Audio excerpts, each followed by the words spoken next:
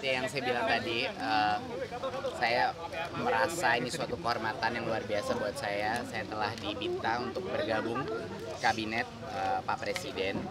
Uh, beliau mempercayai saya dengan tanggung jawab ini dan saya menerima uh, dan saya sangat senang sekali hari ini karena memang ini menunjukkan bahwa sebenarnya kita siap maju ke depan uh, dan siap berinovasi juga gitu masalah posisi spesifiknya uh, uh, saya belum boleh uh, berbicara mengenai itu karena itu hak prerogatifnya presiden yang akan disebut oleh Pak Presiden nanti. Di bidang apa Tadi bicara soal apa tadi? Apakah soal digital ekonomi? Sudah dikasih tahu dan saya sudah menerima secara formal. Tadi diskusi, diskusi soal apa? Apakah digital ekonomi? Kita mendiskusikan butir-butir mengenai visi ke depannya.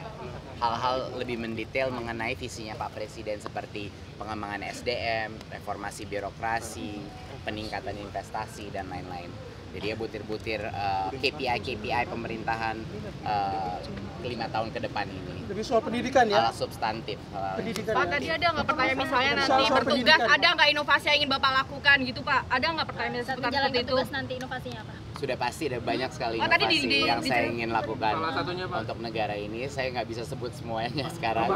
Tapi tadi ditanyakan oleh presiden ya Pak. Sudah pasti dari sisi eh, posisi saya di Gojek itu sudah mundur dan tidak ada kewenangan sama sekali. Tidak terlibat dalam manajemen. Perkapan ya Pak? Sudah itu Perkapan. sudah. Pertama sebenarnya Hari ini sudah sama sekali tidak ada uh, posisi maupun ke kewenangan uh, kekuasaan apa pun di dalam Gojek. Ada persiapan lain nggak sih Pak? Ada persiapan lain Kepemilikan Pak? saham? Ada ada banyak tapi semuanya merucu dari visi-visinya Pak Presiden kemarin. Sekali lagi di saya ingin uh, saya ingin bilang terima kasih lagi sama teman-teman media hari ini. Ini merupakan kehormatan yang luar biasa buat saya. Semoga didukung ke depannya dan terima kasih. Pak pergi kepemilikan saham di Gojek gimana? Ada persiapan lain nggak sih Pak?